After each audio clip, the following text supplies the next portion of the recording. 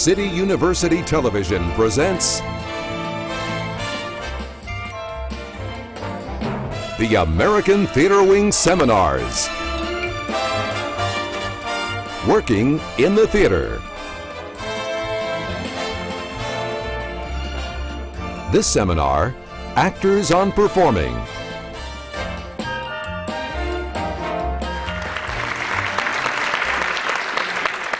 I'm Sandra Gilman, Chairman of the American Theater Wing.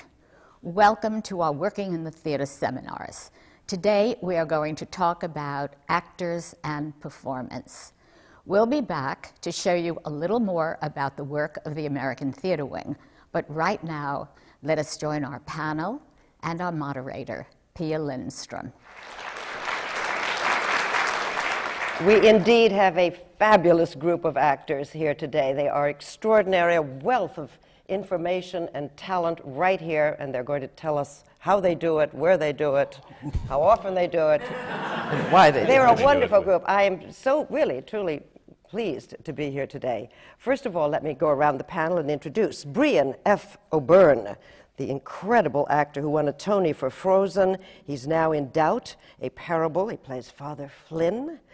He had Tony nomination for Lonesome West, and he was in that very weird play, The Beauty Queen of Leenane. And the wonderful Victoria Clark, who won a Tony Award for Light in the Piazza, a role that just resonates with maternal regret and hope. It was just grand. And next to her, George Grizzard, who has been around for quite a while, the original Nick in uh, Edward Albee's Who's Afraid of Virginia Woolf. Now he's in Seascape, playing with lizards. We'll get back to that shortly. And he's had a great deal of experience we want to hear about. And on my other side is Michael Cerveris in Sweeney Todd, an absolutely terrifying performance. Cerveris. Cerveris. Oh, thank you, thank you. thank you, Cerveris. It trips up everybody. Where, what is the origin Well, of it was Cerveris? it was Cevrizzo originally when my grandfather came over. It's Italian, oh, and when he was decommissioned from the army, from the American army, you could just change your name without without having to go through a whole rigmarole. And somebody convinced him that dropping the vowel at the end of his name would make it easier to get work in America. so, so they took the ZZO off and put an S on, and it became Cerveris, which people assume is Greek anyway. Oh. So it sort of did nobody any favors, really. Well, you're a marvelous actor in Sweeney Todd. Uh, he won a Tony Award for Assassins. He's been in Passion, Sunday in the Park with George, kind of a Sondheim interpreter now. and Jill Clayburgh, who we all know from more than 25 starring roles in films, doing so many things. Recently in Naked Girl on the Appian Way, and right now starting with in Barefoot in the Park, one right after another. Yep. Welcome all. I think we should start right at the beginning. When did you first go to the theater? How did you get into the theater, Brian? Uh, well, I don't come from any theatre background or anything like that, but I come from a very small uh, village in Ireland. And um, I mean, I only, uh, how kind of quiet it was at the time was there was no movie s- theatres. Uh, I only saw two movies in the theatre before I was 18. I saw maybe, I saw one play before I was 18. Um, but there was, because it was such a small little community, um, there was uh, community theatre and stuff like that in the, in the local village hall. So I guess I grew up around watching local, local people put on little skits and stuff to kind of while away those endless winter nights. Um, so I, I, guess that was where I saw theatre, but I mean, I had no intention of ever becoming an actor. I mean, that, that was a whole other, just something that happened, a very uh, haphazard thing that happened in my early 20s, but I had no, I, no desire. I mean, it was so beyond me to, to even imagine that someone would become an actor. I, I, I, I find it extraordinary when I hear people now to say, well, I always wanted to be an actor. I, well, for, I think two things. One, did you not have better dreams? like why? Uh, what did you not? want- Would you not want to do something good for humanity? But uh, so uh, I never wanted to be an actor or anything like that. But perhaps my, uh, uh, you know, then I, s- I- the only things I saw were local people putting on little skits and people sitting in the town hall pointing, going, "There's, you know, whoever doing this, aren't they funny?" That was it. Somebody here see uh, a play and then say, I want to do that immediately?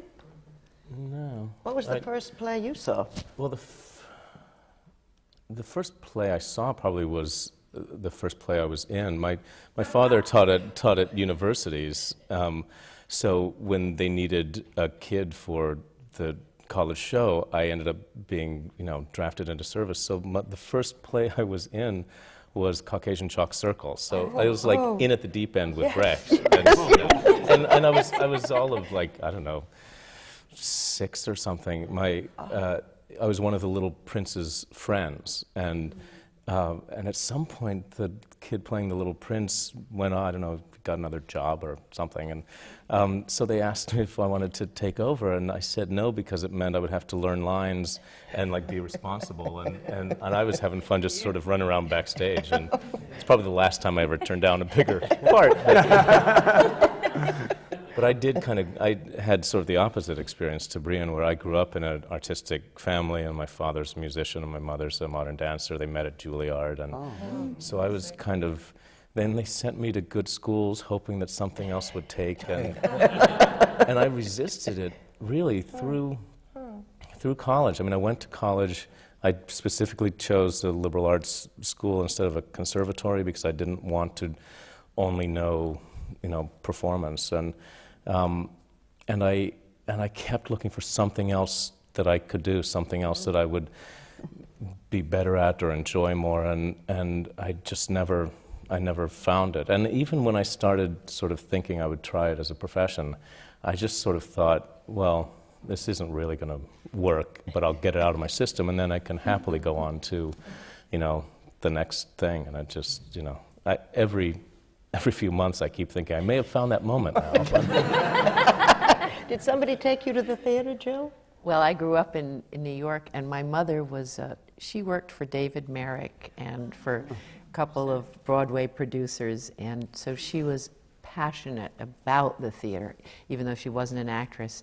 She had been in a summer stock company with Henry Fonda and Margaret Sullavan and sort of gave them her clothes and took care of the books. And she was always outside and loved it. It was really her, I would say, the biggest passion in her life. And so I did start going to the theater.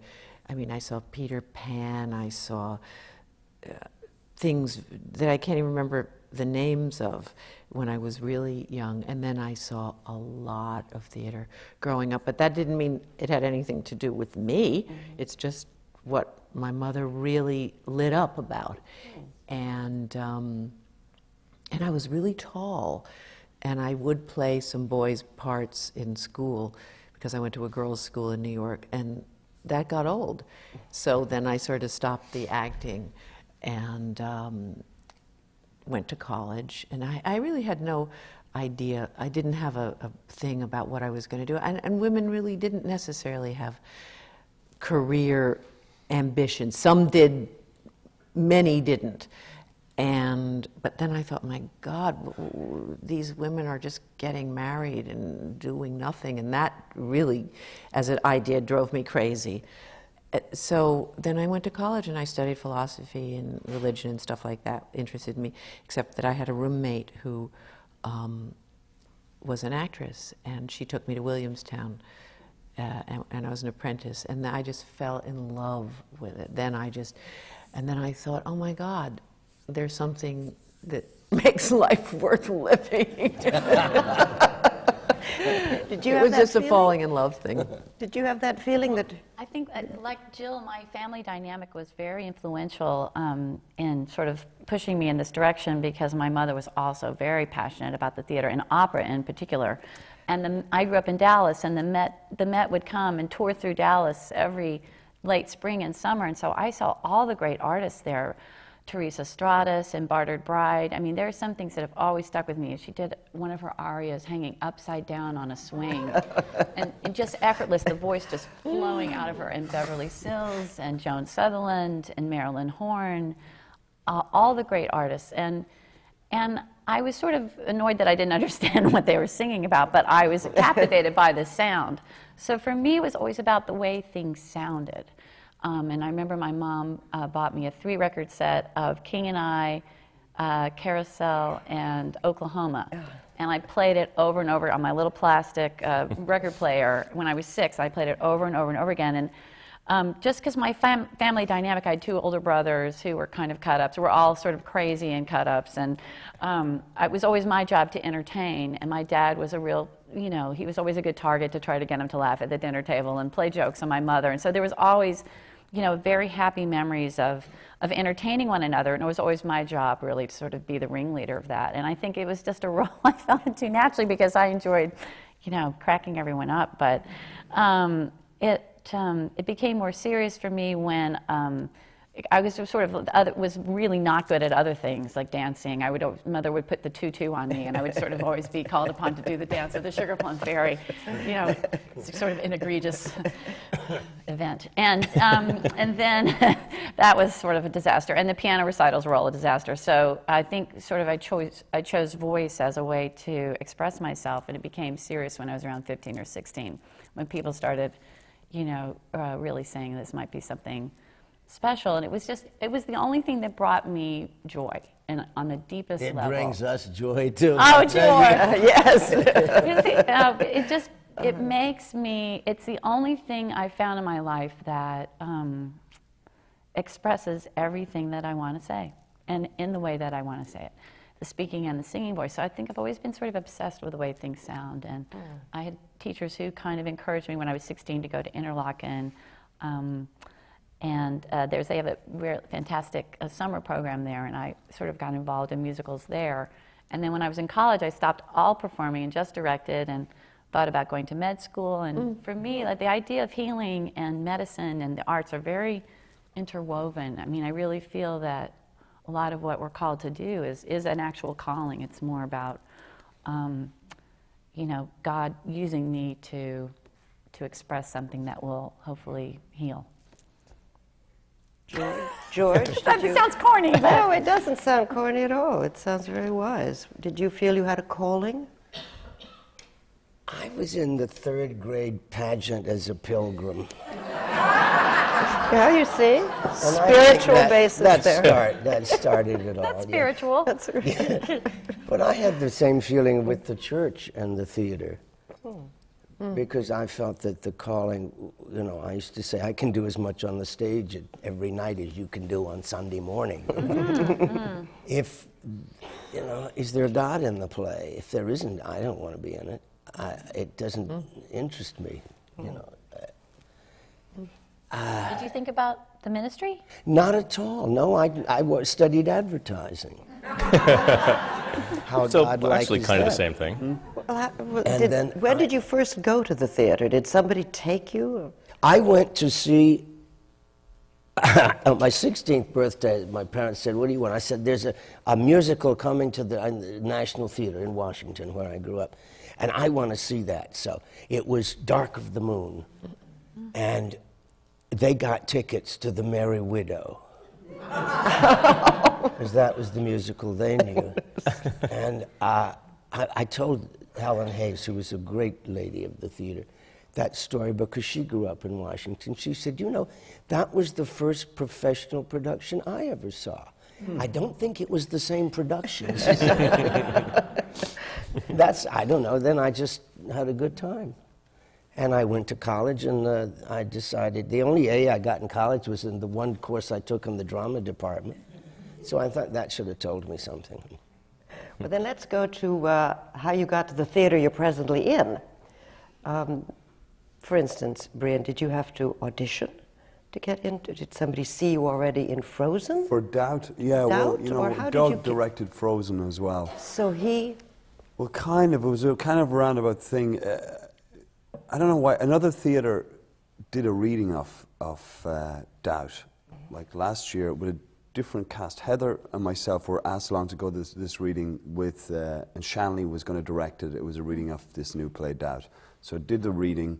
I, I read the play and I didn't think it was very good. And then I went and I met Shanley, and Shanley was kind of, you know, interested. I said, but I wanted to meet Shanley and just, you know, those readings we all do.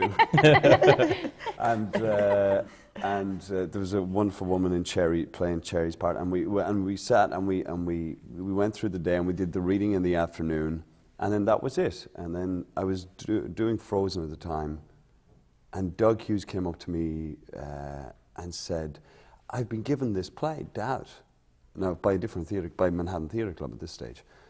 Uh, what do you think of it? And I went, you know, I've got to be honest with you, it's not very good. he said, really? I think it's good. And I went, you know, it was a bit better when we did the reading, but it's still not good. That's how I ended up. And then he came back and he said, well, do, you know, do you want to do it? And I'm like, well, okay, maybe, maybe, you know, it's a, it's a fun part. Like sometimes, I don't know if you guys are the same, that even if you don't feel the play is right, thankfully, I, I, now I know because I've had similar instances in the past uh, showing that I don't like the play, and it turned out to be a big fat hit and very good. But I'm intrigued by the character. I don't know if you get that. I was intrigued by the character, and uh, I went, well, it's only three, it's only 12 weeks. I don't think it's going to run. You know, it's only 12 weeks. You get to work with, you get to do, you know, the whole American thing, and you get to work with Shanley and work with Doug again, and, and all of that. So, um, but I thought I was going to do a film, and I went, no, I can't do it. And he said, well, we'll come back to you. Thank God when I think about it. I, I mean, I did everything Oh, but yes. say, no, I don't want to do this. Yes, that lucky? he, he came back and obviously they must have. I don't know. I think they probably did offer it to somebody much better than me, and No. they, they turned it down. Fortunately, they- and uh, and then uh, yeah, I kind of I was available.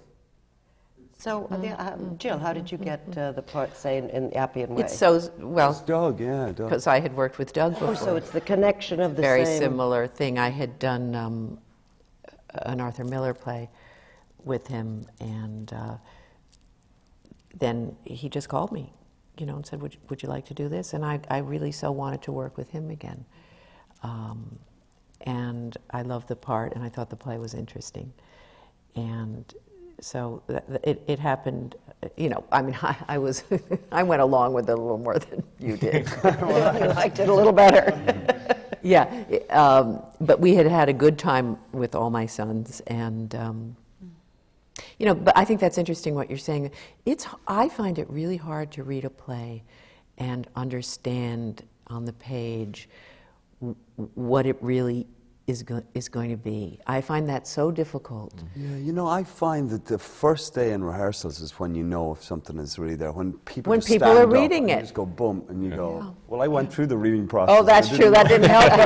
For me, it is when people just stand up and you go, oh, okay, somebody does something Mm-hmm. physically to go, oh, they've just added something. Right. You know, and a reading is still difficult Mm-hmm. for me. I don't get to see it, but physically, if somebody can just all of a sudden just turn around and you go, oh, this is going to be good. But have you ever had the other thing where you read a play and you love the play, but you just think, I can't see me in it. I wish I could. I, I would love to be Did you the see guy. yourself as Sweeney Todd? Um, no, well, it's, it's Sweeney Todd was the first Broadway show I ever saw. My father took me to it, and um, and, What a and- charming first play. Seven years old. a old. lot about my dad, I guess. but it, it kind of set the bar impossibly high, too.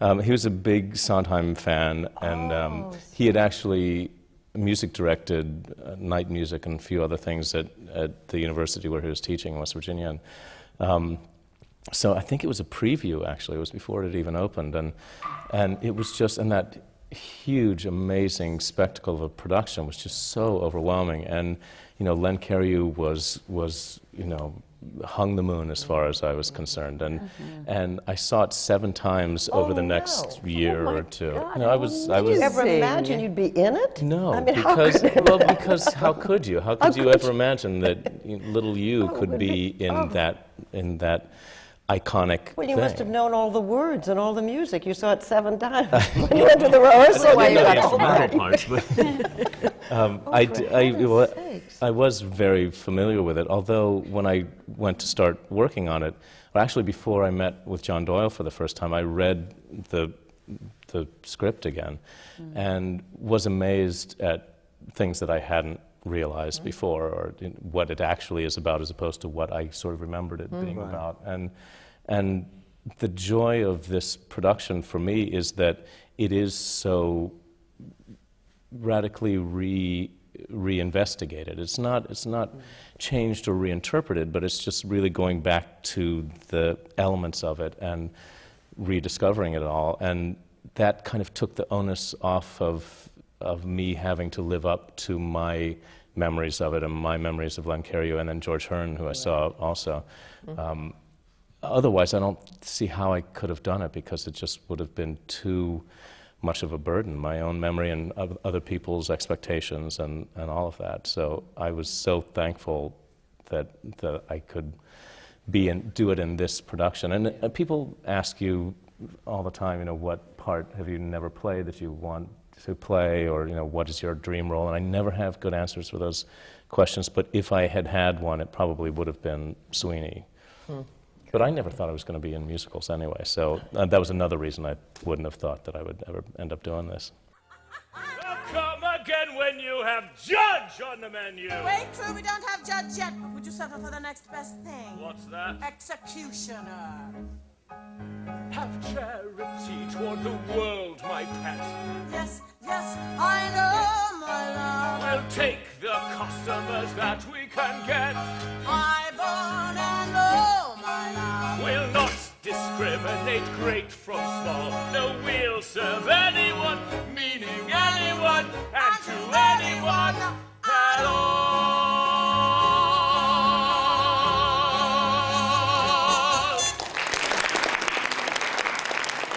How did you get into Seascape? I was lassoed and brought it. Uh, well, I had done it about four years ago in, Oh, at the. Hartford stage with, with Mark Lamos. Okay. And, and that's how I guess.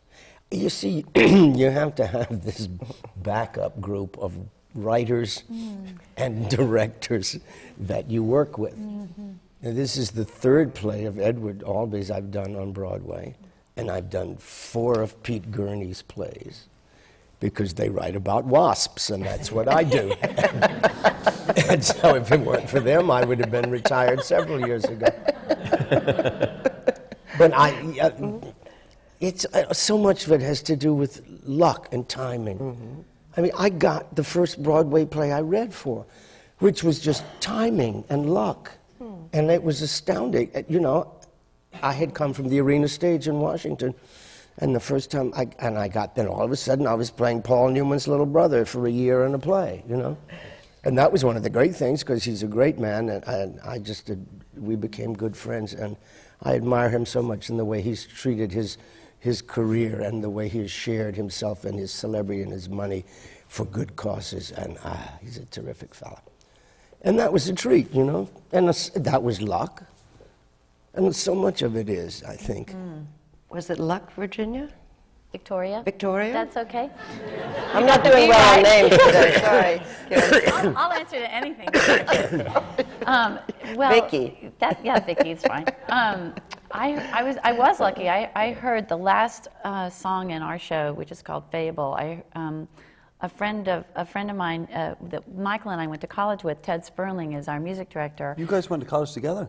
Yes. Yeah. yes, we did. Where went, did you go to college? We went to Yale. Undergrad. Oh, you did. Yeah, yeah. he was doing important theater, and I was. I was, Oh, that's what I kept I was telling doing the right? musicals in the dining halls. but um, we, um, yes, uh, Ted came to my house and he said, "M- uh, Adam Guettel is writing a, a, a new musical, and uh, I want to play the last song in the show.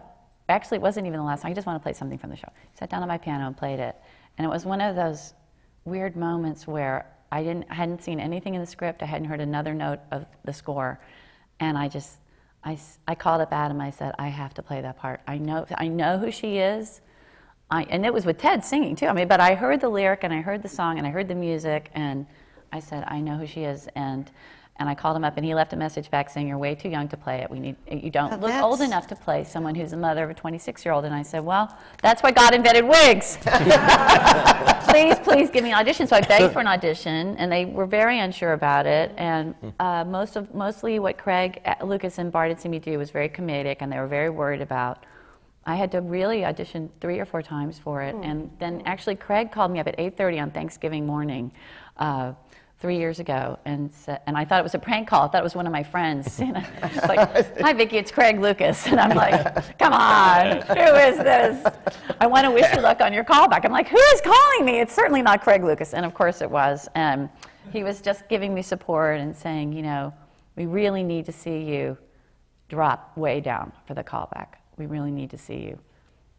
What does that mean? What is drop way down? I think he meant don't be afraid to really uh, land, you know, some of the more serious moments in this in, in the scene that they had given me. Is this vocal? Is this singing no, one? this is, this is excuse acting. This is an oh, acting. acting. si- It, was a, it was a scene. They were. I think they were okay with the singing, and they just needed to really see something, and uh, and I guess they saw what they needed to see, and it was. Um, it was. It was. I mean, there have been a lot of parallels between that character and me, and I, and the Southern roots it, I was and everything. it's a part of a lifetime. You No, seem so suited to that role. It truly role. is, but it's one of those things. Like sometimes you go down to BAM and you see something, one, a fantastic theater company. You go, "Oh my God, you know, eh, what is going on there?" And it's, it's simply nothing more than they've had in nine months or a year or two years working on this project. And we're so often in our culture in this country, we're so rushed to get to the product phase.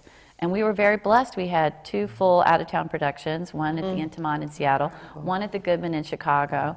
I mean, the first time I picked up the script was over three years ago. So when you have that kind of time and time in between productions for the character to live in you, you know, it's much more relaxing and it's much more, it's a thorough way to work. And I wish that we had that opportunity more often because mm-hmm. it's, you know, it's, to read something, even if you know it's coming in a couple of months, to try in four weeks or six weeks rehearsal and four weeks of previews to come up with something that feels inside you, I, I, it's very challenging.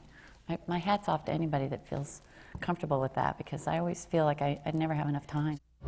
You can look in the ruins for a wishing well, for a magic apple, for a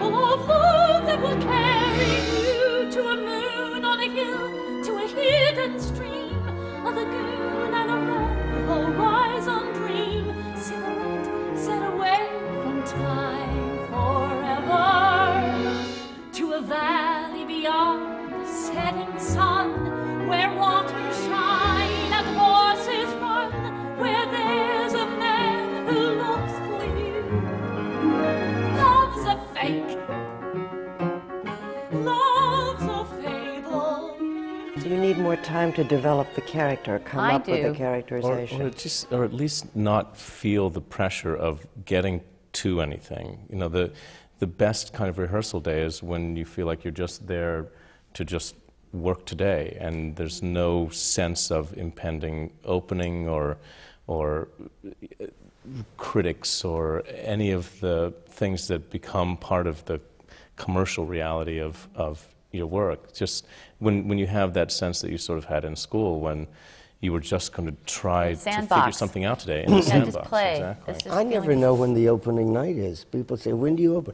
I don't know. It's uh, some next next. I I I don't know. Mm-hmm. I know when the closing night is, but I I never I never seem to know when the opening night is. But you don't have opening nights anymore.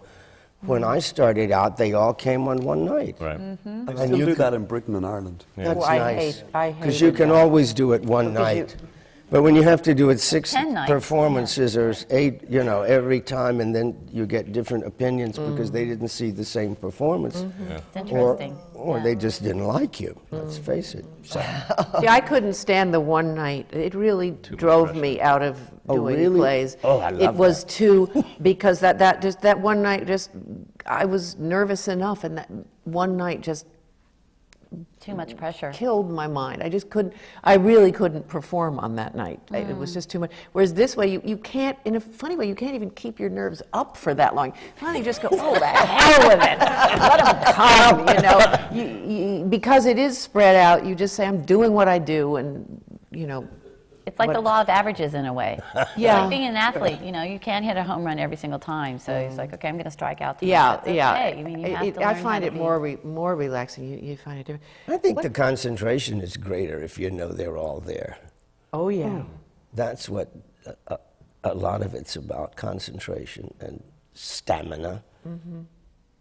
and truth. look at each other and tell the truth. Yeah. How do you go about forming a character? For instance, when you play Father Flynn, uh, you use many hand gestures that seem specific to that person. You've Yeah, well- body language. How did you come up No, with think- that? You know, I, I, you know, every character is different. Obviously, but Father Flynn, uh, with this incident, his, his, because we're all dressed in black, black most of the time, the hands become something that's very apparent, and also the notion of any type of touch or any movement is what one whole part of the play is about. So I was very conscious in that his hands must always be kind of available. They could reach out, they could touch, that they're in play all the time. They could be used as they, they become this viewed as something that happens to the side that can move around, that could be viewed in different ways. So I consciously keep my hands like this a lot of the time because they're the things that perhaps got him in trouble, perhaps didn't. They're the center of this whole thing. And like, you know, magicians sometimes go, okay, they wear the glove. You know, you have to watch the hands even though this is going on. Yeah. So there was a conscious decision with the hands. Can, can I ask you something? Did Yeah. you come to that um, in rehearsal? Do you remember the moment or the, the process where you got No, I was just very aware of it. from the first day of rehearsal? Yeah. So you made that decision in a sense before Yeah, the first day before, of yeah. And the body, the way he stands? Well, that's more kind of, kind of. Uh, I, I wanted him to be. The difficult thing is if. Uh, mm, this is difficult. What, I, I'm very lucky that I, I kind of work a lot on new writing. Is the thing that I'm really passionate about and that I love. Perhaps out of fear because I don't want to be compared to people playing other things. I have no knowledge of it myself. I'm not steeped in a history of theatre. I have no idea about the whole thing. I think of local people a lot of the time. I go, well, who the hell would do this? Or what sort of mm-hmm. person is this whole thing? So I, I, I was very conscious that this man, he walks out very first of all as a priest. And if anyone didn't know anything about this play in the very beginning, if you were describing it as a nun who believes a priest, before you even finish that sentence, most people go, he's guilty. so how do you so how do I come across this guy? How does this guy physically appear to this whole thing? So I worked uh, my, my posture is so bad here. I worked a lot of having an openness in this thing here to say that you don't fear. I'm not I'm not to be feared in any way. So there is a complete openness within his physicality that he doesn't and at certain times he does like things close off and all those sort of things where he goes down. But I had to work a lot on, I consciously just decide on just expand everything out. And then because he's from the Bronx and all that, there was a little bit of kind of swagger in the whole thing as well. so all of a sudden it becomes this whole different thing. And then you're dealing with somebody who's able to do these things. and you come up with it. well, anyway, so I thought of him physically. Because you have that long monologue. You start off with a, you know, a Yeah, long yeah, monologue uh, that you have to do. Yeah. as the days rolled on. And he wasted away with fevers, thirst, and starvation. He began to have doubts. Had he set his course right? Was he still going on towards his home? Or was he horribly lost and doomed to a terrible death? No way to know. The message of the constellations. Had he imagined it because of his desperate circumstance? Or had he seen truth once and now had to hold on to it without further reassurance?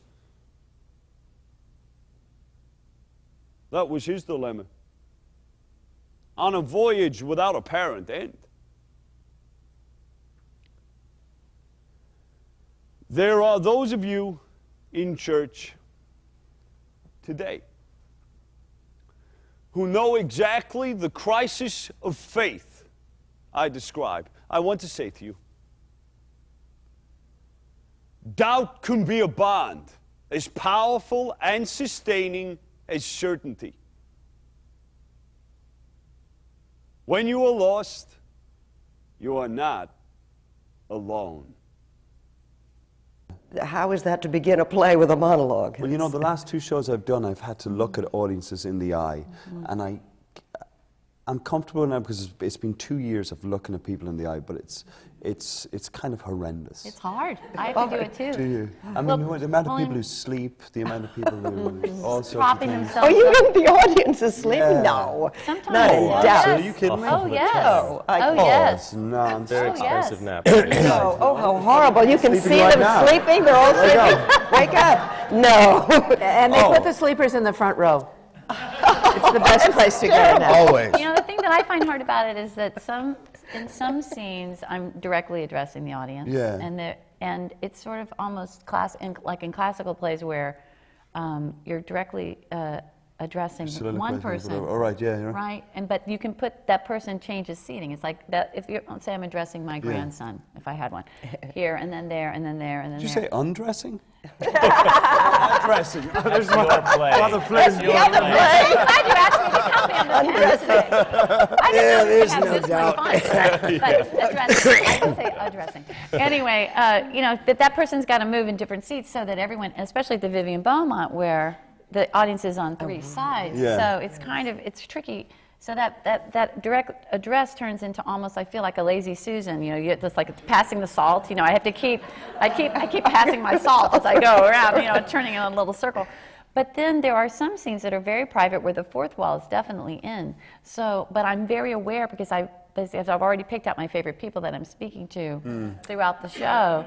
And then all of a sudden, in some of these private scenes, they must go away. In an instant, they must vanish. And yet I'm very aware that I've already made my contact with them, and somehow um, I now have to be make them go away and just be very Oh, I again. love that. I mean, I, I've had to look because I have to look and I try and get a smile. Like the very first thing you just go and the guy smiles, and once they smile, you got them straight away. Boom! You can't, you know, they. I don't mean to address audiences they, but we, we all know what we're talking about, like that, that audience. But I, I don't want to do it anymore. Looking at, I, I actually had uh, the funniest one for me was where I, if I, you can see sometimes people just starting to nod, and I go, I'm gonna, I'm gonna just, I'm gonna grab you, I'm gonna really try and, you know, wake you up in this whole thing. Mm-hmm. On two separate occasions where I'm playing, I go, I'm gonna help you out here, buddy. I'm gonna, mm-hmm. miss, I, and I'm playing a scene to them, and as I'm looking right in the eye, they fall asleep. But I, I've had the opposite experience. In, well, when I was doing Hedwig, I, we, and that's a hard, that's a hard show to sleep to. But the 11 o'clock Friday night Oh, shows, yes, you know, course. was a little chemically induced. and and I would in that show I had the freedom to do anything and and took full advantage of it. So I would go to the bar and get them a coke and bring it back to their seats, and they would wake up to this vision. stuff. But in, in Sweeney last week, I. Uh, I usually I'll find one person for an epiphany when I'm offering somebody in, uh, in the audience a shave, complimentary shave, and uh, uh, and this poor guy that I chose was dead asleep, and and his wife nudged him so, once she realized that I was playing the thing to him. So the guy woke up to me glowering at him from like four rows away in full spitting mode, and he's probably still recovering. like such a gentle person, and yet on stage, I, I work it all out. you, I mean, you are terrifying. Uh, Partially the makeup, partially the posture. To- How did you come to this? Um, how did you come to this? How did you come to this? To be a maniac. Um, well, it's. I- I just went to the story. I just went to the the facts that you're presented with, that what has happened to this this guy, and that was the wonderful thing about working with our director John Doyle, who who really just wants you to tell the story, and anything that gets in the way, whether it's your ego or your intelligence or your your ideas of of the character or anything or his own ideas or images or things he likes to see. He's really brutal with himself and it encourages you then to just totally get yourself out of the process and just tell the story. And it's remarkable. You you always can see it in other people. You can see when someone else is just telling you the facts and just telling you the story. It's it's why people stand and watch construction sites because it's people doing stuff and it's just interesting. And so You bring a, I never really understood why people looked at construction sites. Well, I, But I, I, think, I understand the uh, point. like But I'm always is- amazed no, when I you see bring a particular fierceness to it. I can Well, do that for hours. I mean, I think that's See, I think it's fiercer man than in other thing. productions. Is Well, that not? Uh, maybe Or I, maybe I'm just more pissed off than other Yeah, people. well, no, I mean, I'm- you well, bring a no, real but it- fierceness to it. there- well, there's watch a, there is a, s- I think maybe it's it's a part of the times, my understanding, and and our production's understanding of what what the story is trying to tell us about revenge and and uh, a sense of of justice gone awry. Um, uh, and in an odd way, the simpler it is, and the less distant, the, the less. The, my goal was to have people be able to recognize themselves in Sweeney, to be able to recognize that that need for vengeance, and and to not feel like he's this overblown character that they could never understand or never. I mean, it's a similar thing to John Wilkes Booth and Assassins. Uh, I think I- the most. It's, it's odd that you would I'm have starting to those two special. roles. Brían and I are getting, you know, Getting into these like, weird people. yeah. Um, but uh, that's that's the thing that's really interesting to me is is having you uh, helping an audience to feel some empathy and, and connection with people that they couldn't imagine that they could have anything in common with, and then be shocked by their re- their self realization that that actually they know that person in themselves too, and they presumably are not going to go out and commit the same kind of acts. But, and that's I think in any kind of character that you're playing, that's an ideal sort of thing to achieve to to help people uh, understand something outside of their own shell. Jill, do you try to find characters that you relate to that are somewhat like you are? Look what I found. I know. The picture of the naked girl on the Appian Way. No. This is the other picture. Oh, The one we took when we got back. in emulation. You were so beautiful. I was. Only it wasn't the Appian Way. No. It was the Catskills. Same obnoxious busload of tourists, though. True. True. you know, as, as I played it, I, I f- you find things in yourself that, let's say, are the more submerged things in yourself that, that aren't your daily fare. Um, and, and then during rehearsal, they, they grow, and then something else takes over, and that's a character, but it's still grounded in these feelings that you have. Um, I- you know, I don't. I, I try not to think, well, this is like me or this isn't like me, because, I mean, if something is just, if I don't relate to it and understand it, then you, that, then you just can't do it. But I don't ask myself that question: Is it like me or not like me? I, I try to say, Or a is it version of me. I is mean, it- sometimes is some it- actors play a version of themselves, don't they? Yes. In Yes. parts. Yeah, but And but I when think you know. No, well, Ma- I, Maureen Stapleton is one of the great actresses and the funniest woman I've ever known. And she said, when an audience said, pinned her down to talk about acting, which she avoids, she finally said, Well, you read the play a couple of times, you find out where your character fits in the plot, and you play what you are at that time in your life. and she plays Maureen better than anybody. Play the same. It's strange. Last year I did Cat on a Hot Tin Roof. Mm-hmm. Now, I, it never occurred to me ever that I would want to or be asked to play Big Daddy at five eight and uh, not terribly large.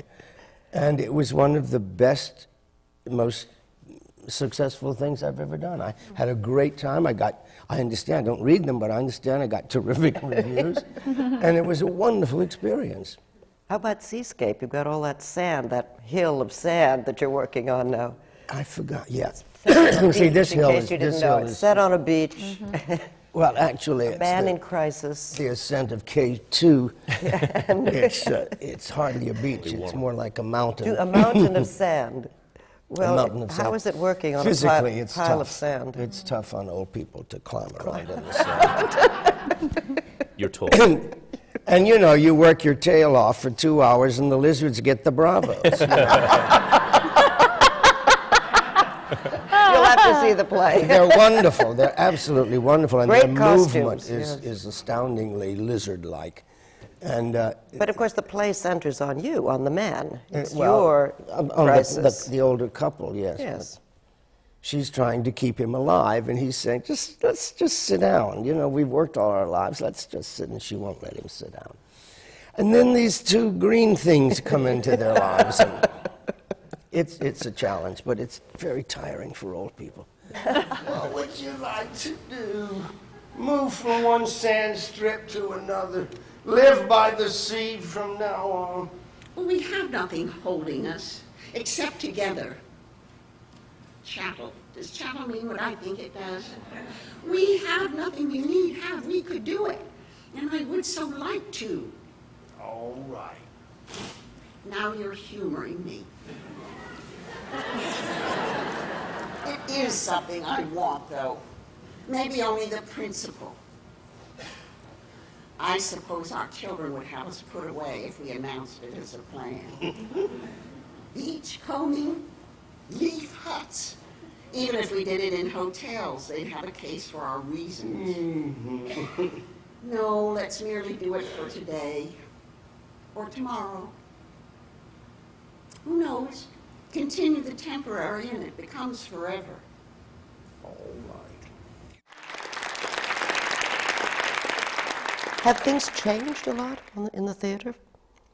I mean, Uh, Working in the theater. well, this is my 50th year anniversary on Broadway. Oh, is it really? Yes. Oh, congratulations! And they have changed a lot. They've changed a lot.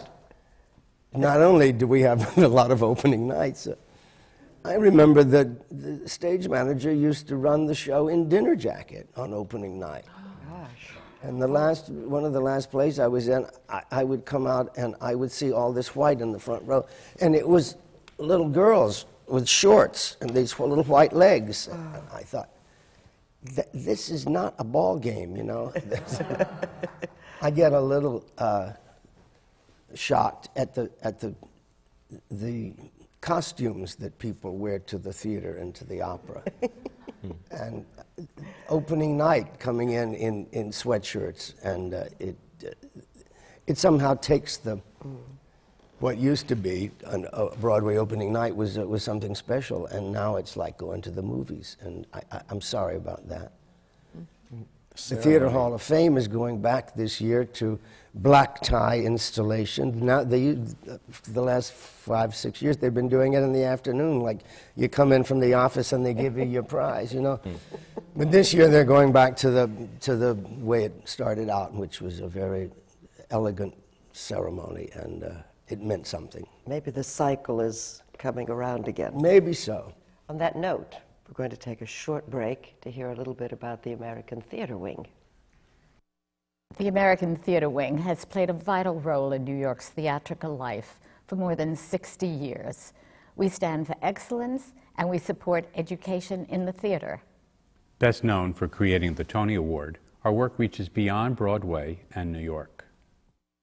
These seminar programs, which are supported by the Annenberg Foundation and the Dorothy Strelsin Foundation, are an unequaled forum for discussions with today's most creative artists.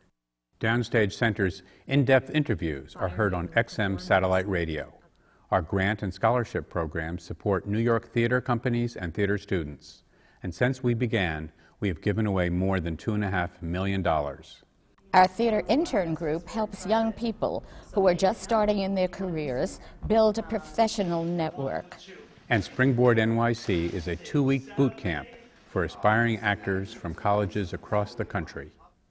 All of the American Theater Wing's educational and media programs are available for free, on demand, from our website, americantheaterwing.org. Now, let's return to the seminar. Well, we got you all to the theater. We got you into the theater, how you did your parts. Now I'd like to know how being in the theater affects your life. Well, you do the play and then, Then- you sit down and you go to sleep. if you sit down in the daytime, you just go to sleep. That's because of this play, because it's so strenuous. But uh, how does it affect How does it your affect life? your life? Well, I'm also a mom. I have an 11 year old, and I'm, I'm a single mom. So um, I, it, I don't have, I, he's not at my house every single night, but he's there a good bit of the time. And um, if, I'm not, if he's not actually in my residence, I'm speaking to him or calling after him or trying to get his Christmas pageant costume ready or dropping off the lunch, you know, or doing it's, it's that just being a mother is a full time job in itself. And um, so having two full time jobs is, has always been a juggling act. But you know, it's, uh, it's, I find that one enhances the other. I think after I became a mother, I became a much more open and, and creative and spontaneous actor because, you know, I didn't, I didn't have, I didn't have hours to sit around and, you know, bathe and prepare and, Well, also you've and got- sleep. There, and there's, no, there's no time to sleep. I mean, the first few shows after he was born, I, I mean, people were constantly coming up on stage and saying, you have baby vomit on your lapel. you have granola on your cheek. you know, just like all, constantly covered with all kinds of peanut butter all the time, all the time. And, uh, you know, uh, there, there, the thing about, for me in the theater is being able to just respond, you know, moment to moment, and that has helped me tremendously. Um, but it is, it's, it's, Well, it's what about you also, relationships? you also have the best acting teacher in the world living with you when you have a kid. you know. That's true. That's true. I mean, they, they know all the stuff that we spend the rest of our lives trying to learn again. Relearn. Yeah. And you go back and you have the opportunity to become free of the burdens of adulthood and responsible living and so forth. And so all those things that I hadn't done before, um, I, I used to call my mother when um, certain things would happen, and the, the memory that I'd long forgotten would come flashing back. The first time my son swam to me uh, by himself, I suddenly was reminded of the first time I swam to my mother. And uh, the first time I went swinging with him, then I remembered swinging. So all these, these, these memories as he gets older are coming back and um, able to Well, share one of the with my own reasons I mother. asked this question is I've tried a couple of times to have friendships with people in the theater. No. you see? Nobody they have warned to you? be stalwart and loyal. They have to You- stay up late. You can't, they're never available for the birthday party, the visit, the lunch, the Christmas, the New Year's, your illness.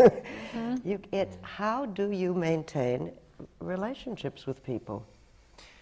Well, I think they, they really have to they have to uh, understand. I mean, it has to be a, a kind of a spoken understanding in some cases, especially if it's not someone who's in the theater. And movies have a different set of, of issues where you're just sort of gone out of the illness, the birthday, the big drama, whatever's going on. Okay, I'll be back in three months to re- retie that knot.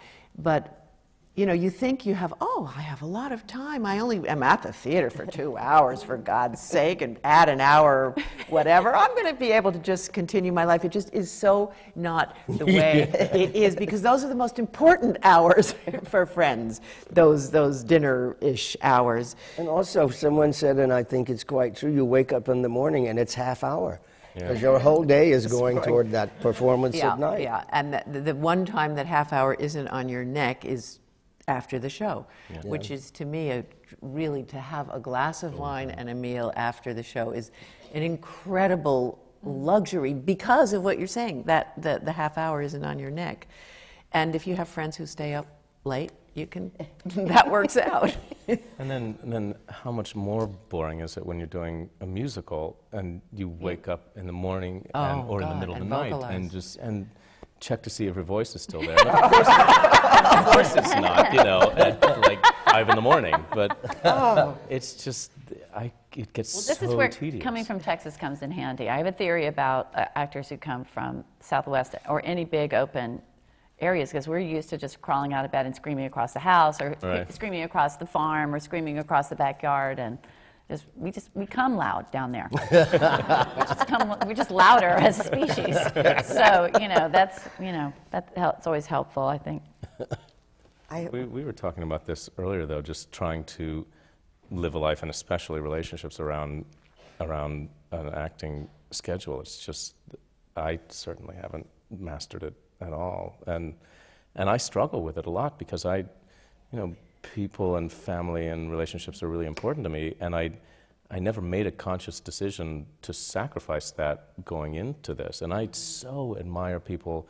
Paul Newman seems to me, uh, he's not someone I know at all, but just as an outside observer, he seems to be someone who has managed to really get it right. And You know, and, there's a funny you know, you meet people like that from time to time, and it that, gives you that hope. I notice, uh, you know, if, if since it's the American theatre wing and uh, with theatre, because so much, and particularly not, not musicals, theatre happens off Broadway, the wages are so small. Mm. I mean, last year when I was doing Frozen, I was taking home $250 a week. For a, a s- and it was a hit show. Yeah. You know, moved to Broadway, it was a big thing. So you look around, you're doing seven, eight shows a week, you're doing, you're doing that whole, th- whole thing. There isn't a lot of money. As I g- get older, I start to notice that the people around me, and this is kind of the, the unspoken thing, are not in relationships. Mm, mm. They don't have, you know, houses. If it's theatre, now obviously if you go, go to the West Coast and make some money in TV and get all that sort of thing, but the people who just stay in theatre, it's, I don't want to say it's sad because there's a glam, there's very glamorous and we get to live our lives vicariously through the amazing people we meet. We get taken around to all these incredible things. But there's a lot of people, we tend to have, it tends to be an incestuous business. and quite rightly because they're the people who kind of understand that. You know, I sometimes get embarrassed if I have some friend call me up before, you know, I'd like to, and it's different for you, you're up with your kid, but like 10.30, I'm not out of bed. And they're like, you're not up yet? I'm like, yeah, yeah, I'm out of bed. I'm like, I'm not, no, I'm not anywhere near out of bed. and, and those are the things because I want my main energy is going to be at night time. I'm going to be going like this. But there's a, there tends to be not to make it. There's no nothing mar- being a martyr about mm, this or anything like it's that. But it tends to be this. You know, if it you go through your 20s believing that anything can happen and you're going to get paid and it doesn't matter, and then you're slightly into your 30s and relationships go, wow, this is a good play. Maybe I'll go and do this play. It's a great part. It'll allow me to do this other thing. And then you reach a stage where you're going, it's not allowing you to anything. This is our lives. And, uh, you know, but it, it tends to. Uh, So you have to give up something to be a stage actor. I don't think. it a sacrifice? Now you're well. I wouldn't call it a sacrifice because I do it willingly, and the rewards are so. Well, I don't. I'm not suggesting it would outweigh a child. I don't have a child at all. You know, and, and, and, you know, and I hope to. But the, um, I think. I think you kind of do. Give up something. Well, I stopped. I I stopped doing theater for about 20 years. Yeah, Haven't seen you? you. Because I, I was not capable of balancing what I could do. I, I just couldn't have children because you were always away, especially when they get to be school age. You're you're really getting ready, like when they're walking in the door, and then you're gone when they're doing when they're home at night, and then you miss taking them to school. And I, I just it, it I, cou- I couldn't do. And also, you see, you have a wonderful. That's a very positive way to look at the the way one thing gives the other thing. I just felt, oh my God, I'm as an actor, you're very self-involved. Mm-hmm. You you have to be. You have to be thinking about these things, and your imagination is going the whole time about this person. And as a mother, you're you're completely giving and, com- and, and, and involved in someone else's soccer and ballet. And I, I just felt so discombobulated that I just thought, I, I can't do this.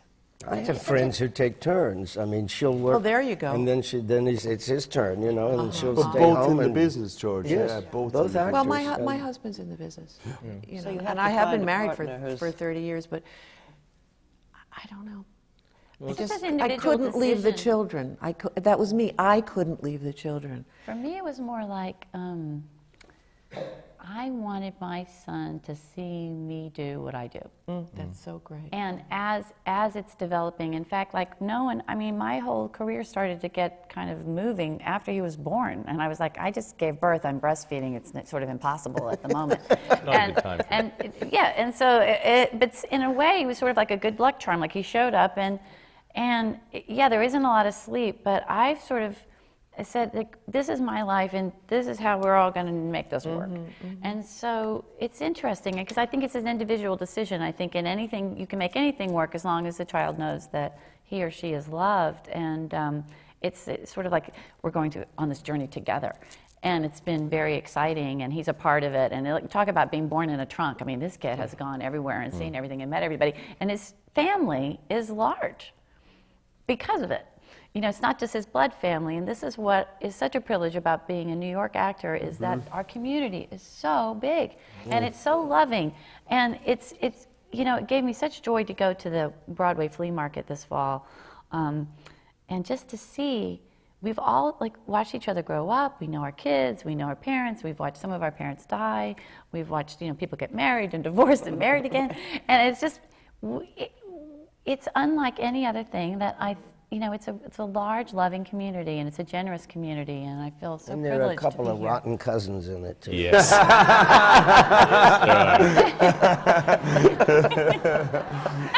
I read a quote from Sean O'Casey that said, The theater is not for someone what bleed easy. well, and yet that's all you're So- called upon to do is Yeah, bleed is easy, bleed really. easy, That's that's for me one of the the two most difficult things I've found since leaving school and really trying to make a living doing this were one discovering that especially in the early days most of your time working at your craft was spent trying to enable yourself to work at your craft. You know, finding an agent, finding a way to eat while you've tried, tried to find a job to actually do the acting that you meant to do in the first place.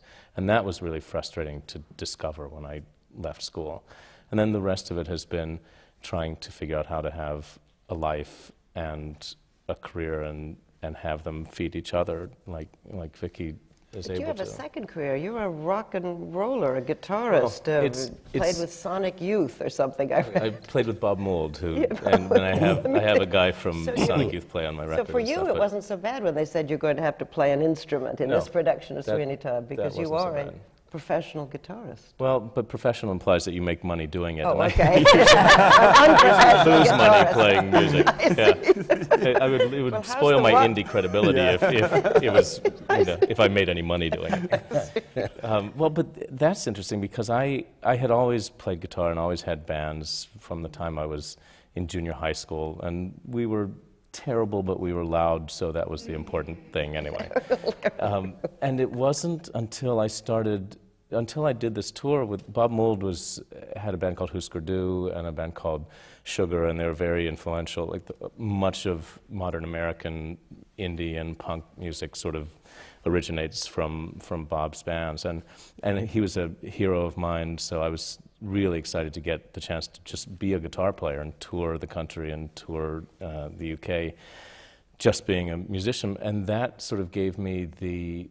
Um, Uh, the chutzpah, I guess, to finish songs and actually write songs myself, and having that creative output that I had control over, whether it was going to be listened to by three people who were friends of mine or, or more, it didn't matter. I finally had a creative outlet, so I wasn't just stuck waiting for the next job, acting mm. job, to be able to be creative and to feel like I was doing things. And that made me relax so much more about my career. Made me able to turn down things that I've never, I've never had a very extravagant lifestyle, so it doesn't take me a lot of money to survive, and it was easy to scrape together enough just to eat and pay rent.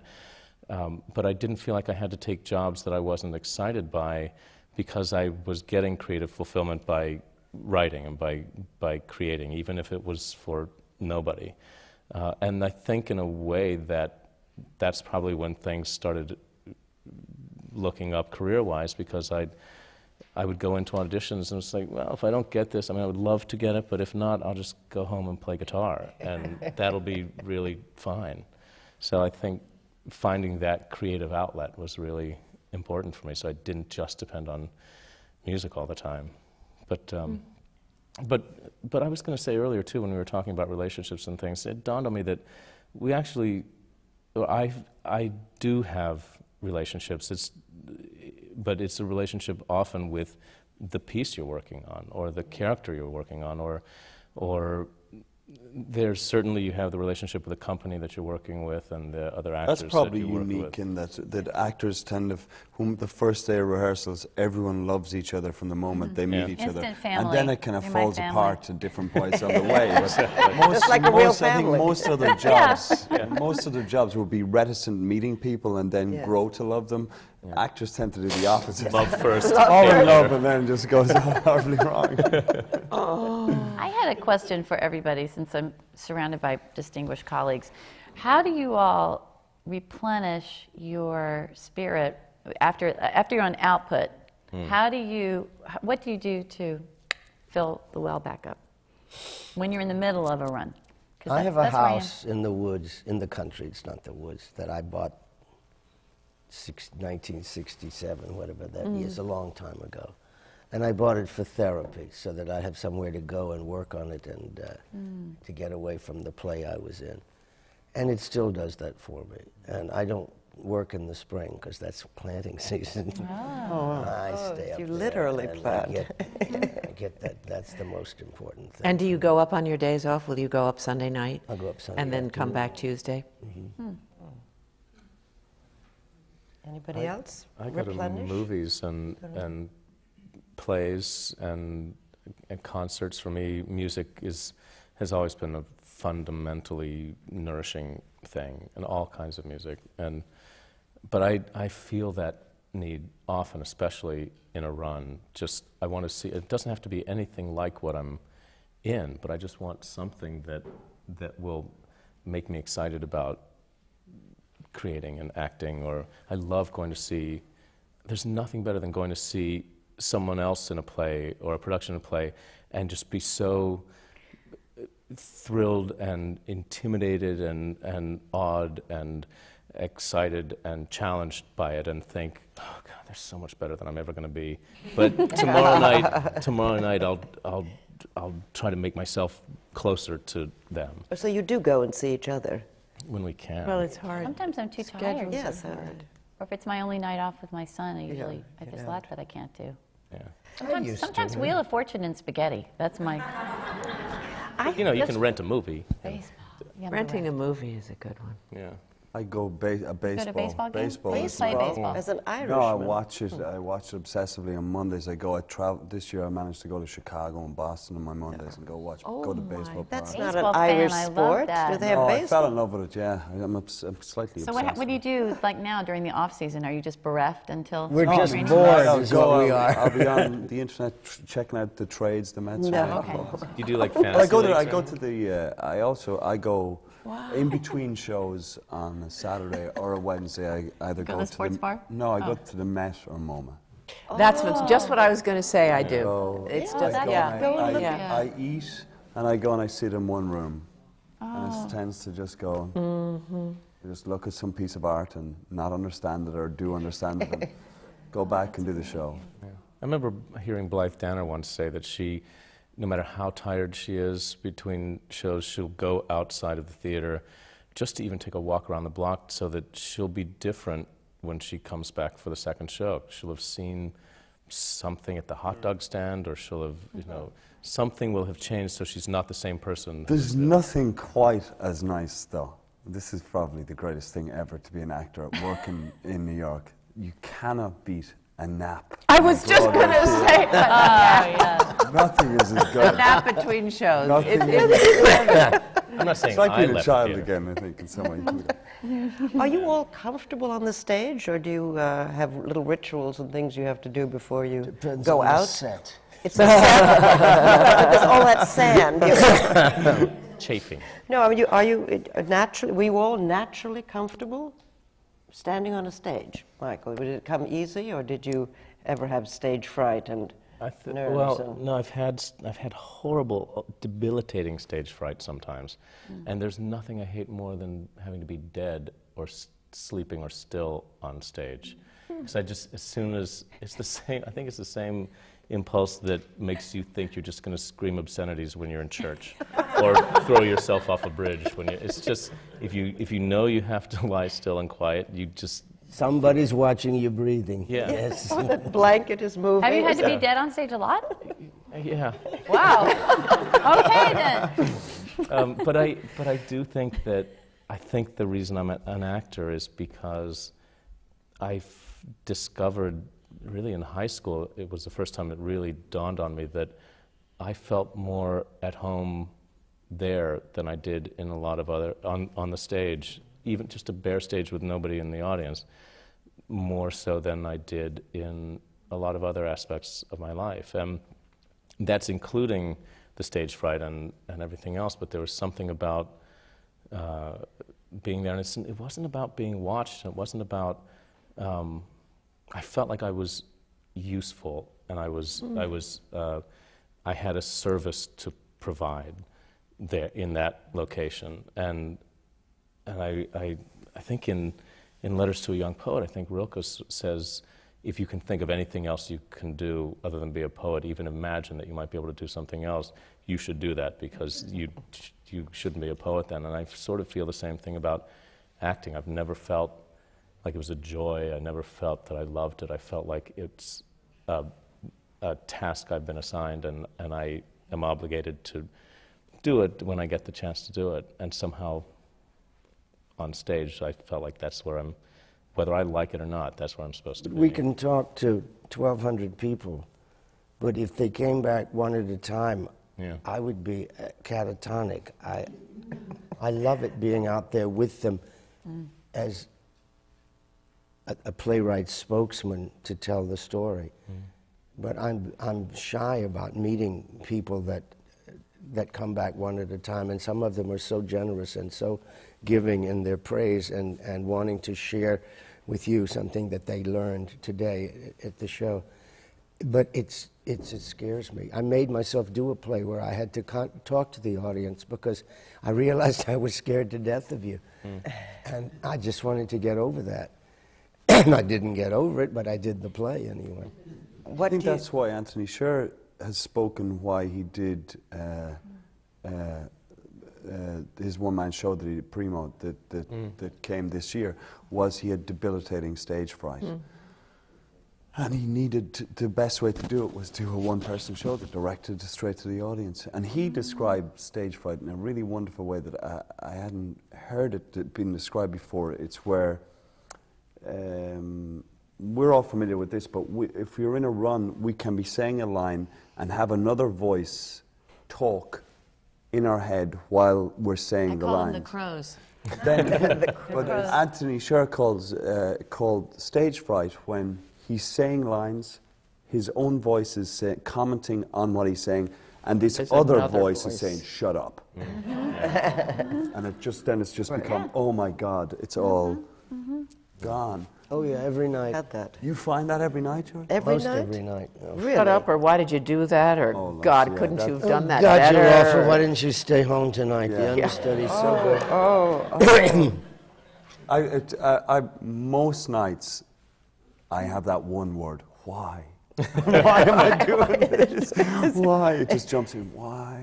Got to be something easier. To Well, when it grows from when you start out, many times we start out saying, "Look at me, look at me," you know. Uh, then, if you have any growth at all, you tend to say, "Look at yourself. I'm trying to show you what you look like when you're having fun, when you're in mourning, when you're in anger, and hope that you recognize the humanity that we all have, that we all share." It, it is a growth, I think, as, as an actor, and if you've been doing it as long as I have, I hope there has been a growth because I, I feel more satisfied. I feel now that if, if the audience doesn't respond, it's not their fault, it's my fault. I'm the stimulus, they're the response. And if they don't respond the way I want them to, it's my fault. I don't, I don't blame the audiences ever anymore. As a kid, you know, I used to say, oh, God, it's a terrible audience. it's not a terrible audience. You were terrible. That's what it was. I've learned that now, but it took a long time. What other things did you Well, it's learn just, I think it's so interesting that you all, I think one of the things that people don't realize is how much you are with the audience, how mm. much that audience is a part of the play in the theater. And it, it's, it's such a huge difference from making movies or anything else. How, how it's such a vibrant, important presence, your communication, their communication back. I mean, it really is part of the play. And I think As Rosemary Harris used to say, these people, you want to be an actor? These people allow you to be an actor. yeah. You've got to love them and nurture you do them have and to take love care them, of them. and and you do, ha- and you have to sort of learn to. I, for me, I had to learn to love the audience. Mm. I had a very, you know, okay, but I'm doing this. this is how I see things. you know, and, and, and now I have a, I, I, I hope I have a more generous uh, spirit, and I want, to, I really want to embrace the audience. I want to include them in, in what I'm thinking and, and creating. What about seducing the audience? I've heard. I'm too old for that. Ah, So not true. Oh, you're not, Jill. Metaphorically speaking. I know it. Not the way you were behaving in the green room. exactly. Father Flynn again. no, I've heard actors or read that that's part of the technique that people have to love you. You have to project something that they can love back. But really, hmm.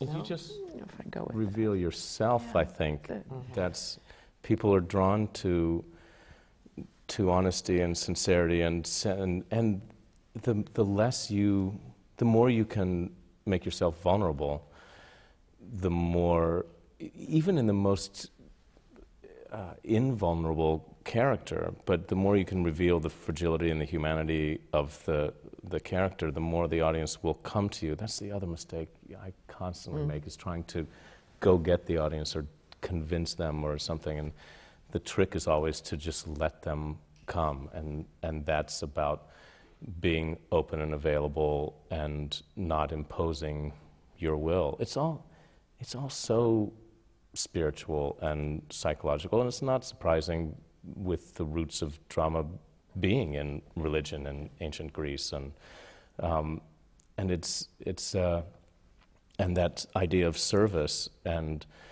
providing a service to the community in in that reflection is is I couldn't agree more with. I think that's changed. I think that has changed, though, and I think it is. You know, we've reached a stage, particularly on Broadway now, where th- tickets are ninety dollars each. Mm. People now there are obviously there's always ways to get cheaper tickets, no matter what. There's always ways to get cheaper tickets, but the, it's an expensive night out. They're going to go to have a meal. They're paying for babysitters, parking, anything like you're running into a couple, you know, several hundreds of dollars for a night out, and theatre and through our whole the whole marketing thing that comes with our business now, we're marketed as entertainment. And entertainment churches that run on entertainment value or anything like that that uh, try to attain towards any sense of what you both speak about in a spiritual sense um, is not going to feed anything because the bottom line is pick up the posters on the way out, pick up the jack, pick up whatever you, we can sell you some more things. But I, I'm glad that I don't think we have a lot of dialogue between audiences, actors, and everybody going, really, why are we doing this whole thing? Like, is there something that we need that we're trying to go, we're all going to sit in and pretend and hopefully be, gain some enlightenment at the end of something, provoke some discussion, and that being provoked is entertaining in itself. It, it, it, entertainment does not mean that you sit back and you are, everything that you believe is, you're told you're right to believe this. And to sit back and go, you don't, you're not challenged in any way. But because it, theatre is such a big business and it is huge, you know, the money we're talking about is so huge now, it's, everyone's trying to find the package. Mm. But I- you know, how do you, you ca- it's so difficult to say we're going to have a play and guess what? Two people are going to be lizards. now, of course, we all know that it's hugely Yes, entertaining and, and, you know, entertaining in that sense. But it's, provo- it's provocative and all those other things. But it's, But I see signs of life. I, I absolutely agree with you, but I see signs for hope more recently, I feel, than I have for a long time. And it may be the result of the climate that we're in, the times we're in, that people are finally starting to realize there is uh, more of a need for that. But I feel How- plays like yours and, Well, Light and the the play Piazza that we're certainly. doing I and mean, yours. this is like we thought this was going to close June 12th. I mean, it was supposed to close, and it has the center.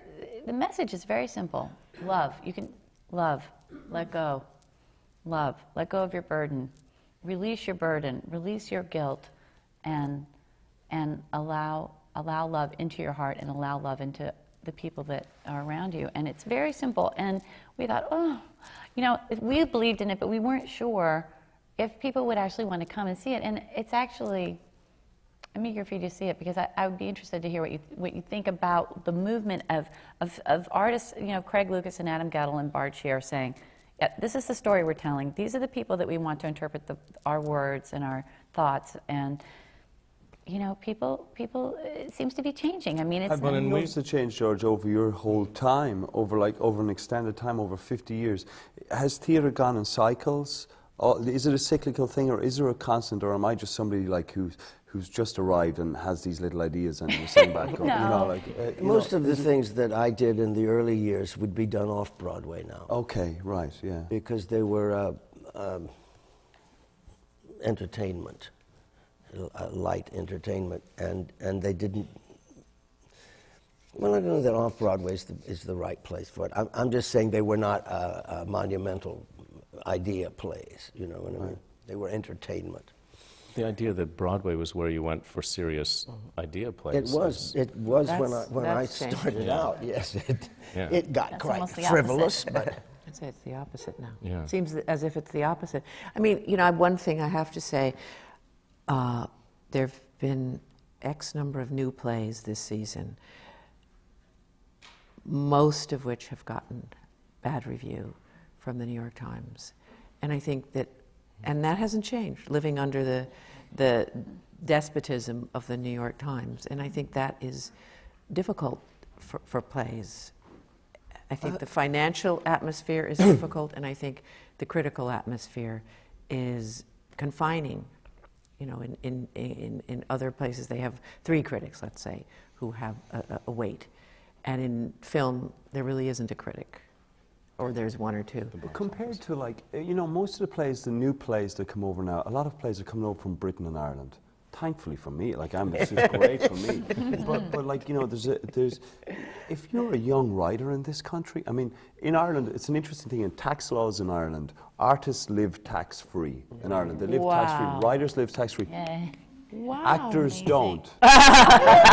No. Actors, because the tax laws state actors as being interpreters. And in fact, we are, we're much more parasitical than the other than the other and the other mediums. We don't create it. We do need our own. So if my pool is writers, who, and that, like that's the whole thing, new writers.